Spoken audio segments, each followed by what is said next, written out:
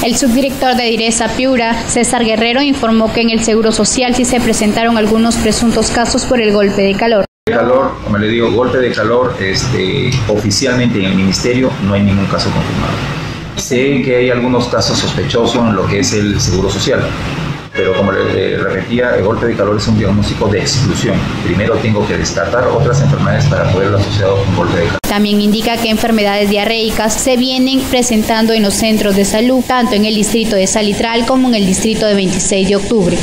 Eh, lo que está reportado hasta la semana epidemiológica 7 son 9.490 casos de diarrea pus, que son esas diarreas que no vienen acompañadas ni de mucosidad ni de sangre y de 39 casos de diarrea disentérica, que son esas deposiciones con mucosidad y con rasgos de sangre.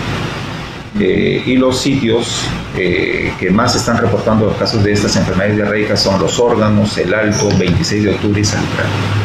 Ahora, hay una, hay una epidemia de Señala que la plaga de moscas es producto del acúmulo de basuras, donde cucarachas, ratas y otras especies se pueden presentar en la región de Piura, ocasionando una epidemia generalizada. De basura hay este, tres componentes que este, se presentan, eh, lo que es la presencia de cucarachas, que me pueden desencadenar lo que son problemas asmáticos por las proteínas que contienen, y también la cucaracha se vuelve un vector mecánico, es decir, por sus patitas puede eh, eh, diseminar lo que son las bacterias.